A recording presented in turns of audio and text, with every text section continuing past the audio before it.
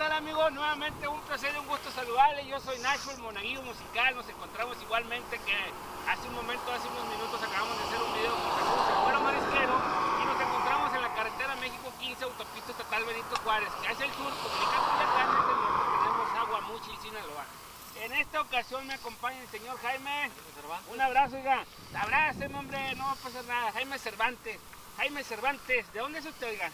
Eh, Sinaloa. De los Mochis, Sinaloa. Usted es camionero, también es, es operador de camiones. Camionero, tengo 31 años. 31 años manejando. Amarra 31 años manejando camiones. Entonces, usted ahorita viene, va hacia los Mochis, ¿verdad? Hacia los mochis, ya que a ¿A dónde vino a sacar la Culiacán? Mazatlán. A Mazatlán vino.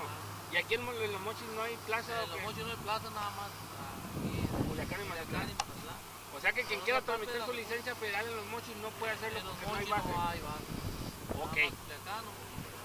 O- Usted me está comentando, eh, me, tiene- me está diciendo que tiene 31 años conduciendo camiones. 31 años, ¿A qué edad empezó a conducir camiones? a los 17. A los 17 años. ¿Y cómo fue, oiga? O sea, generalmente detrás de un camionero hay otro. hay- hay- Es una generación. Primero hay un señor que Daniel Beltrán de Mexicali. Daniel Beltrán de Mexicali. Él me enseñó a conducir los camiones en la PepsiCo. En la cuesta. Vende ace- vende aceites él en la salida de, de San Felipe. Ah, Ya vende aceites él. o sea, ya no trabaja de Ya, ya está grande él, ya gracias a él yo ahorita. Y ese primer conductor usted en la familia. Eh, Y detrás de usted ya vienen los hijos. Detrás de mí viene eh, Jaime camarógrafo, Junior. Jaime? Jaime Junior, él es el, El que- le sucede. El que sigue. Y ahí está otro que anda queriendo hacer pinismo. Él trabaja en una zapatería de zapatos. Y ahí le anda haciendo loco queriendo la entrada a la a la pelada, a a. Eso es Pero bueno. hay que echarle ganas para adelante. Eso es bueno. Un poquito más fuerte nada más, por favor. Ahora, hablemos de Daniel. ¿Cómo lo conoció usted, Daniel? Yo Daniel lo conocí por medio de unos peloteros ahí en Mocha. El señor Daniel se la cambiaba pelaza con con Jiménez. Ah, hacia, hacia Mexicali. sí. Eh, el señor Daniel se quedó en, los- en los mochis ah, para entrar en Pepsicola. En Pepsicola fue donde yo, yo trabajaba en las oficinas de ventas. Andaba de repartidor local aquí en la ciudad. En ventas, y de ahí fue cuando yo eh, le entré a la realidad. ¿Cómo se dio esto? ¿Usted le pidió que me enseñara a manejar o su jefe le dijo, ¿sabes qué? Agarra este chavo y capacítamelo. Yo eh, me enseñé ahí cuando me dieron unas vacaciones, entonces eh, yo me le pegué mucho al señor porque el señor ese no, no, no tenía familia realmente en los mochos. ¿A dónde va? ¿Para? Y yo pues le llevaba su café, Eh, le llevaba su café y le llevaba otros muchachillos ahí. Y entonces fue cuando yo me empecé a meter con él y todo, y a trabajar. Y es donde me enseñó él. Entonces dejó su trabajo repartidor ya y ya. Eh, en vaca- en vacaciones me fui con él a, a dar vueltas con él al carrito, a, a, a las aves, al carrito.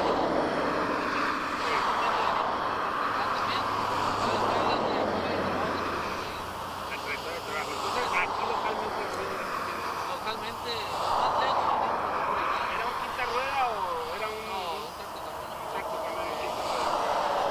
Ok, ¿y cuánto tiempo le llevó usted a aprender? Eh, Una semana. Acá de aprender rápido. en universidad y todo, una semana. Por ahí era pura universidad. pura universidad. En parte de ahí, Martínez, el carrito, era pura universidad.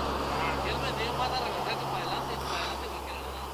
Sí, claro. que me enseñó él nada más. La caja te sigue, no se ve por un lado ni te va a rebasar, ¿eh? Así fue, y pues ahí, pues yo ya tengo 31 años de A los 17 años. Bien. Y aquí local, a nivel local nada más. Pues no, a, a, nivel local y al año yo ya empecé A pulirse ya en las carreteras. a subirme a la carretera. Ajá. Empecé a, trabajar ya en la carretera. ¿Y cómo fue? O sea, ¿ya tenía licencia? ¿La sacó en ese entonces o no? No, no. No tenía licencia. No existía casi licencia en ese tiempo. O sea, no, no. Había, pero no, nadie le hacía caso. ¿De qué año estamos hablando aproximadamente? Yo tuve desde el 82. Del 82 para acá. Entonces la licencia no era un requisito que porque Casi no, casi no nos pedían. iba ibas y pedías trabajo y no les importaba si tenías o no tenías licencia como ahora. No, siempre trabajé a Canelo Pagano en México. Correcto. Aquí en México y pudo nunca ahorita. me licencia. Ahora, platícame ahora. Llegó el momento en que te saliste de la Pepsi y fuiste a pedir trabajo con a tirar lugares. ¿Era torto o no no a Nogales. Y de ahí de Nogales ya no. Se, acabó la temporada y empecé a tener marranos a México. ¿Y cómo sentiste tú tu primer viaje hacia Nogales? O sea, teniendo en cuenta que nada más manejabas a nivel local, no conocías carreteras en otras de. ¿Sentiste- ¿Hubo alguien que te respaldara, solicitaste información, te pusiste nervioso? No, simplemente me, pegaba los Ah, que de sea la misma compañía. de la misma compañía. O sea que no bateaste. Se acomodó todo, pues todo.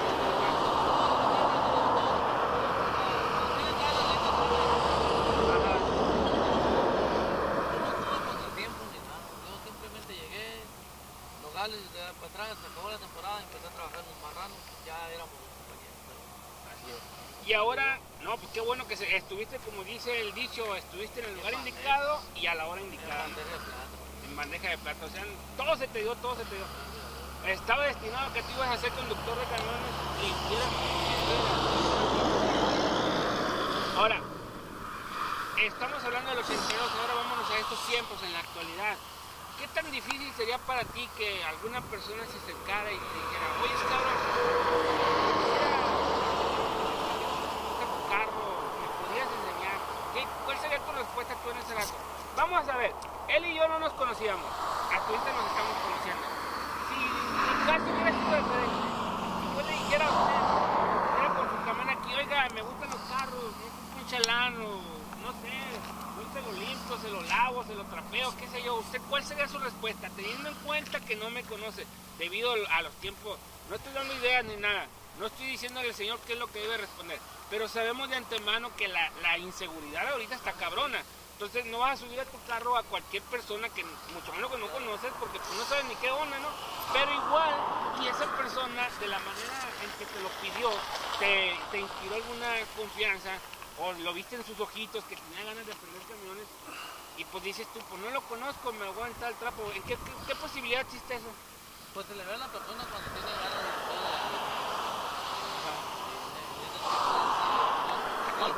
Ay, ay, ay. Le darías la oportunidad. No tendrías ningún problema. Y hay, hay personas que obviamente van a decir que no. Aunque la persona lo detectas cuando es bien. Sí, sí, claro, el colmillo, ¿no? enseñarlos a manejar, pues, cosa que no, no pierdes tiempo y qué más da enseñarlos. O sea, estás en disposición de enseñar. No, pues qué bueno, porque actualmente pues ya ahorita ya muchas empresas ya no dejan que traigamos gente arriba. Y menos Este, de material peligroso este. Sí, no, no, el material peligroso yo no puedo traer gente, pero pues como quiera, la carga general, algunos sí pueden y otros no, porque no, no, no permiten eso, ¿no? Mucho menos si saben que vas a enseñar. Pero qué bueno que, que usted se presta para eso, porque pues, desgraciadamente no, no todos son así. Pues. No, A mí, a mí me lo han pedido muchas veces, pues, es lo que yo les digo, es que yo antes andaba en los camarones y antes el patrón sabía, tenía el conocimiento que tenemos gente, incluso le pagaba sus comidas y todavía le daban pues un dinerito, algo, algo estimulante, ¿no?